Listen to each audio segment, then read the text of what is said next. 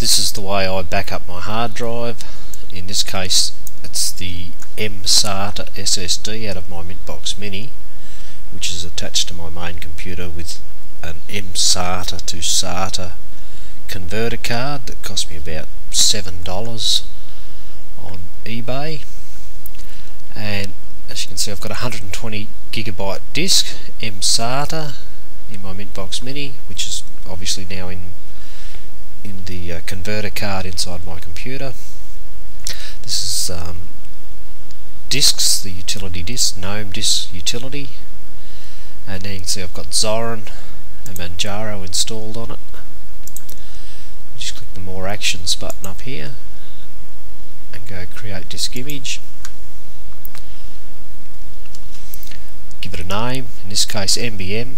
Mintbox Mini tells me where the image come from. Zorin 9, Manjaro 1512 tells me what's on it and then a little description here. It's all good because there's there's no problems I'm aware of with that operating those operating systems with that whole disk. That system's all good at the moment and I'm saving it to this disk images folder on my 2 terabyte hard drive which is inside the same machine.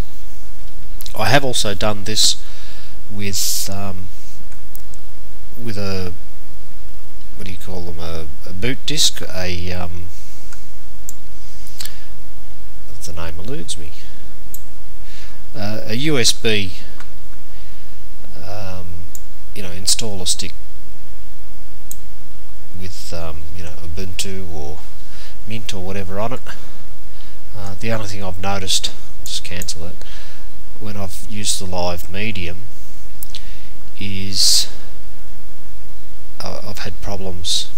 Obviously, you've got to go back to a, a, drive you can get access somewhere to. So access uh, authentication permissions on a drive somewhere has been one problem I've encountered, and the other is sometimes it's actually accessing the, um, the swap. In this case, it's not. But if I click on this is the drive the operating system's running from here, you can see that the swap is, I'll click on there, it is active. And I think clicking on that little star there will deactivate it.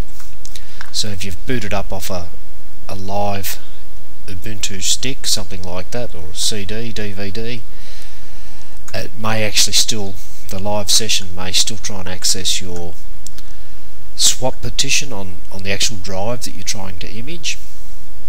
And obviously it's going to encounter problems there.